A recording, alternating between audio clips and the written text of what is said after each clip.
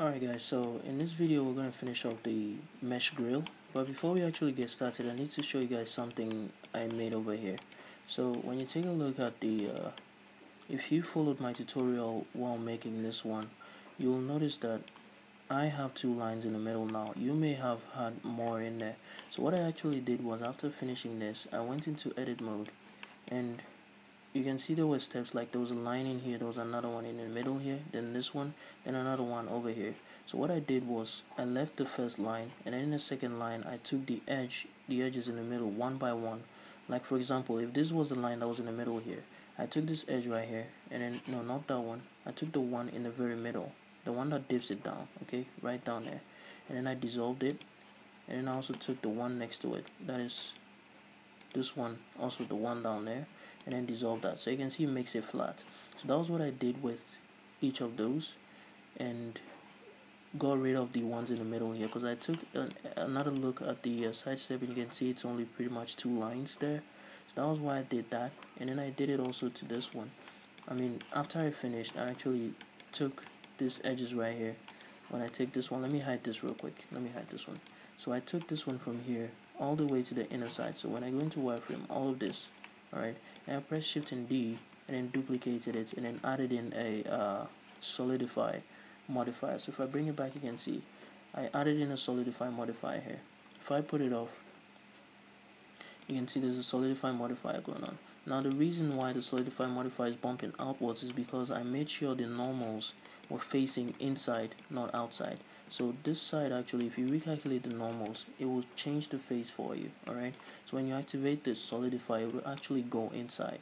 So I don't want it to recalculate the normals on the inside so I actually inverted it by clicking on this inside here to make sure it inverted the normal so the solidify is bumping outwards. So that's pretty much what I did over there just to add in that kind of rubber rubber seal around it like that.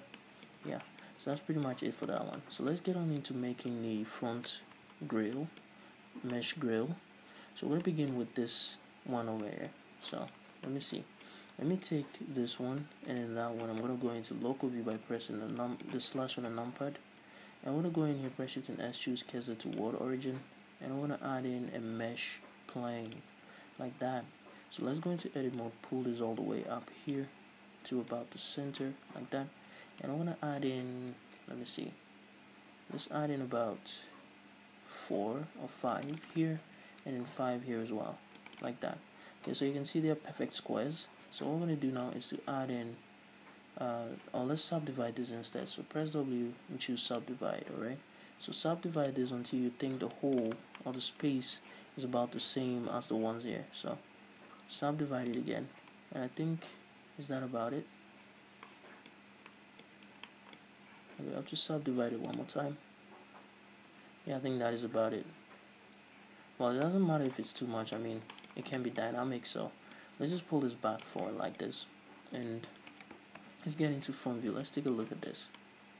Alright so it's not bad. Stick the whole thing and then rotate it to about okay make sure your snapping element is set to increment. And then let's rotate this. Hold on control and rotate this. Is it 45 degrees I think? So make sure it's rotated 45 degrees by looking up here so you can see mine is rotated 45 degrees very nicely. So I don't know if the holes are enough though. Is it enough? Okay I think it is. It should be. Alright so with that done um, what we're going to do now is to insert the faces alright? So press I to insert the faces. Now you can see what is going on right now. So insert the faces. You can see it's inserting all the way through. So insert it a little bit like that and then the options down here. Just bring them up and then disable I mean enable individual alright?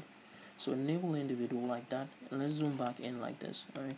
So press after enabling individual just press ctrl Z to get rid of that insertion and then press I to insert it again alright? So going to set it to about the amount of space that we have to be the thickness and the space in the middle of each bar.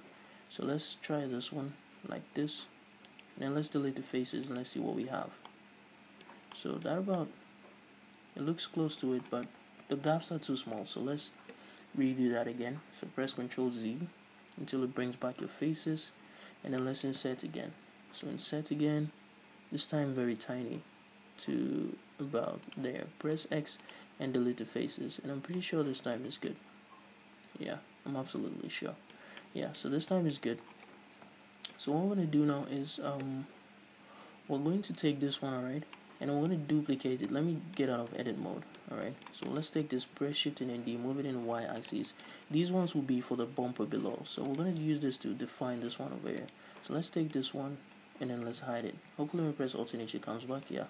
So press H to hide it. Let me enable this for you guys real quick. There we go. So let's go into front view now. And now we're going to do some cleaning up. So let's go into edit mode so we're going to go into wireframe and we're going to clean up all this side all the way to the top and then all of this side all the way to this side and then to that side I think the quicker way to would be to click about here and drag this all the way to this side like this. I think that would have been the best. So I want to deselect all of these ones here on the side like this and let's see. Nice okay so we're gonna press Ctrl and I press X and delete the rest of the vertices. And you can see what we have. It's lying right in the middle there. So let's go into front view. And this one might actually be going way too much. So let's select all of these right here. Select all of these press X and delete the vertices. I might actually add this one as well. Select all of these press X and delete the vertices. Alright let's take a look here too. So we're going to deselect all of these as well press X and delete the vertices nice so I want to pull this in the y-axis all the way forward. Let's disable proportional editing. And let's pull it all the way forward until it's sitting right behind this one right here. Alright, so let me just take a look. Let's take a quick look. Make sure it's sitting right behind this one. So G and Y. I'm going to move this forward till it's sitting right behind it. Sorry. Until it's sitting right behind it like that. So that is looking good. Now with that done what we're going to do now is we're going to shoot this all the way back. Should I pull it forward? No I think it's enough. So we're going to press E and then Y and then extrude this back about the thickness we're seeing in there. So I think this is about good. Yeah? Yeah so this is about good. Extrude it in about that like that and that is looking good so I want to do now is add in a bevel modifier. So let's add in a bevel modifier. Where is it? Where is it? Where is it? Where is it? There it is. So add in a bevel modifier and I want to change this to, let me see. Uh, let me see, none. And I want to change it to, let me see. If I increase this, uh, we're going to have to work around with this. So let me see. Um, the bevel modifier isn't exactly working.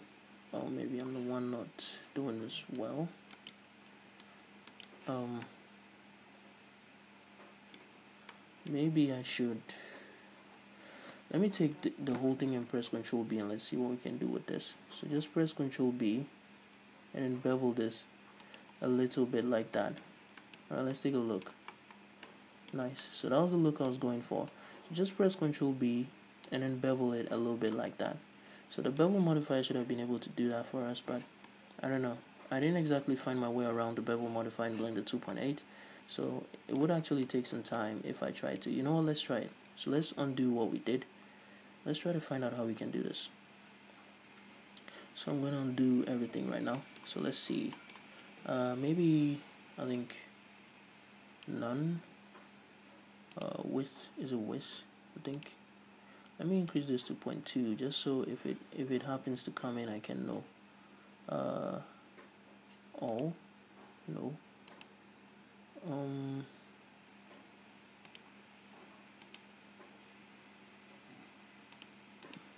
let me see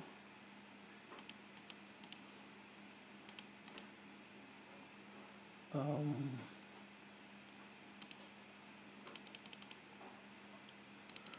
drop it down to 0.1 and let me see. Is it I don't think it's angle though. I don't know how this works but let's try this. Let's go in here take everything okay? So take everything press N and let's go to tool. Is it tool or view? I'm not sure. Um edit not edit view. Let me see. Should be somewhere here. Yeah. So increase the edges bevel weight okay? Edges data increase the bevel weight all the way to one. Let's get out of edit mode and let's see if this works. So let's change this to weight. Still doesn't work. I'm not sure how this works.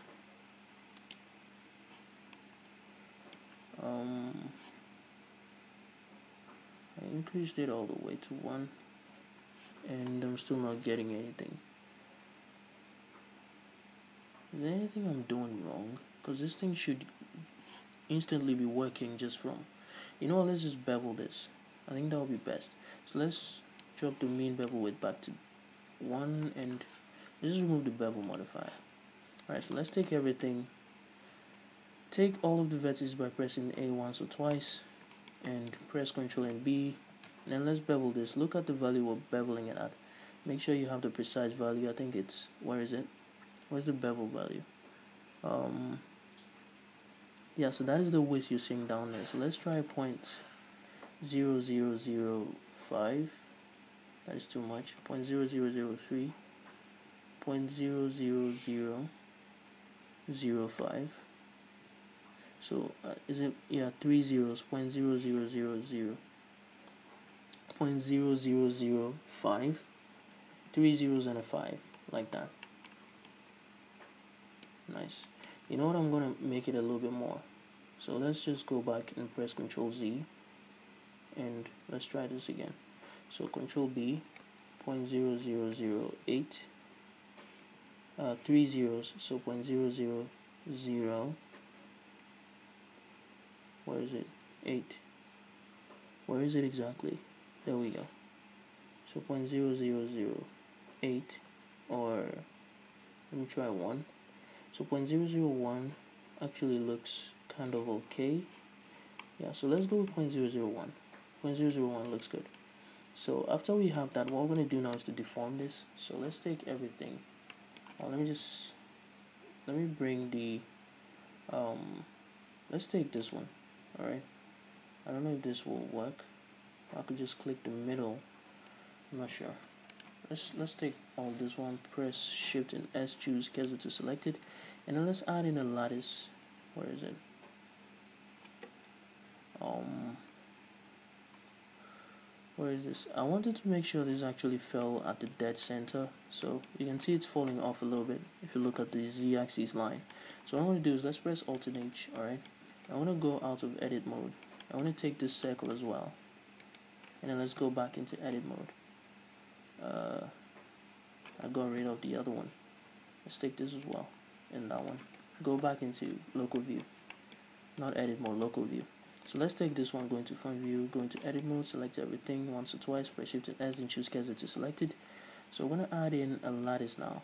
So press shift and A, click on lattice, and let me just hide this real quick hide this as well and hide this and hide this as well so we're going to take this go into front view scale it in the z-axis and we're going to scale it in the y-axis as well so we're going to move this in the y-axis S and Y and what I'm going to do now go into the lattice option increase the U to I don't know 4 should be good I think 4 will be good so let's bring everything back by pressing Alt and H. First of all, let me scale this in the x-axis until it's at the very edge over here. Oh, I'm losing my voice. Alright, let's get this going.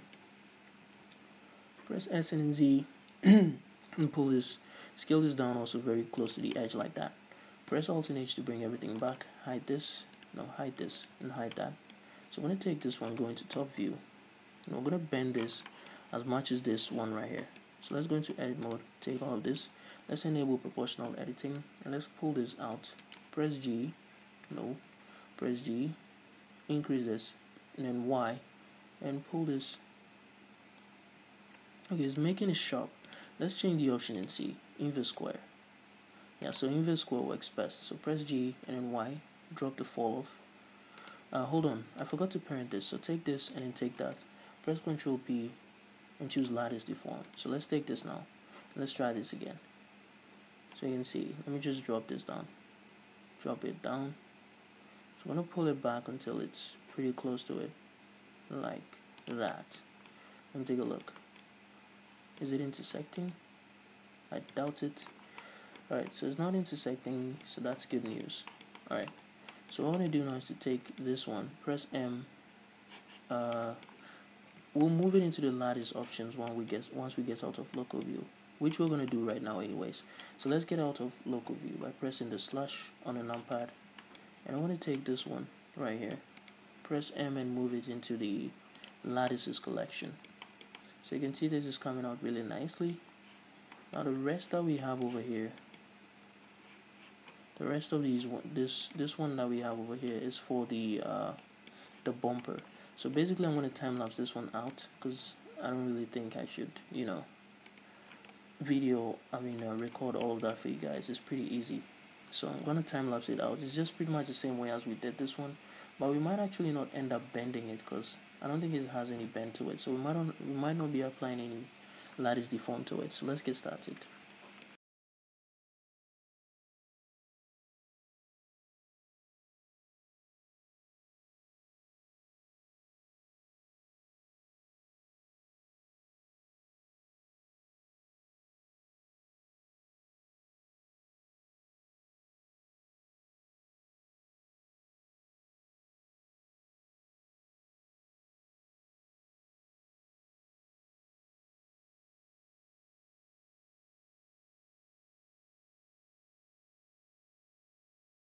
I said we were not going to be using any lattice deform in this one, but it doesn't look like this one's. It doesn't look like this one is going to work out without one. So we're going to add in a lattice deform just to be able to control this one a little bit better. So what I'm going to do is, um, let me see, if I take everything, first of all let's take everything and then let's try rotating things around and let's see how it looks. Uh, it doesn't look like it's going to help though. So let's just add in a lattice deform. So I'm going to press shift and S, add in and say cursor to selected. I want to add in a lattice. So go down here say lattice and let's scale this down to here. Alright? I want to go over to the top view. Get into wireframe. I'm going to rotate this like this. And I'm going to press S and then Z once. Scale this down to about here. I'm going to rotate it a little bit more like that. Then S and then Y. Scale this down to there. First of all make sure your pivoting point is set to I mean your orientation is set to normal alright? So with that done uh, what we're to do now is let me see. Um, let me go let me take this one and then that one. Press Control P and choose lattice deform. So I'm to go into edit mode of this this one right here. And let me get into wireframe. First off let me just increase the U to 1 I want to increase the V as well to 1 like that. So I'm going to take that one I took up here this one. I want to move it in a Y or a little bit out like that. I want to take this one as well. Pull it in a little bit to there like that. And let me take a look up here. Alright that looks good. And okay so let's take these two as well. And then let's pull it out a little bit like that. I'm going to take these two as well. Pull it out a little bit like that. I want to take these two now. Pull it out. A little bit like that. Let's take these two and pull it in a little bit. So you can see what I'm doing here. I'm trying to match things around here. So let me take these two now. I'm gonna move it in a little bit. And let me see. Yeah so that kind of looks almost like it. Yeah it's close nice.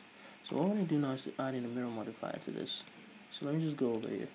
Press Ctrl and A say location I want to add in a mirror modifier like that. So you can see it duplicates on the other side very nicely. So when I go to edit mode I want to press Ctrl B to bevel this. The same amount that is 0.001 uh, 0.001 like that. And let's get out of that and you can see it is looking really good so we're going to do the same thing over here. Select everything, Control B, 0.001. Press enter to confirm it and you can see that it's looking great. Very nice. So all that is left is this lower area here. I'm going to leave that side out so you guys can do it on your own. Because I don't want the videos being long. So I'm going to do that off camera. It's pretty much the same thing if you put it in there if you put the uh, grill in there and it's not matching as well just uh, use the lattice to control it.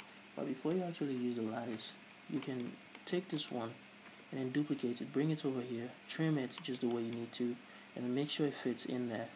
Uh, you know what? I think uh, okay yeah let's just put a grill there. Because I wanted us to put a light in here instead. Be a little bit more you know artistic and all that. But let's just maintain the grill because the lights will even be more tedious than the grill. So just put the grill in there like that and or if you don't want to put a grill in there you can just fill it with a black uh, plane that one too is quite pretty much I've seen those in bumpers too so you can do that too. But uh, I might actually fill it with a grill or I might fill it with a black uh, black surface. But whichever one I do I will just let you guys know in the next video so yeah. This is what we have now. So we just have to take this one.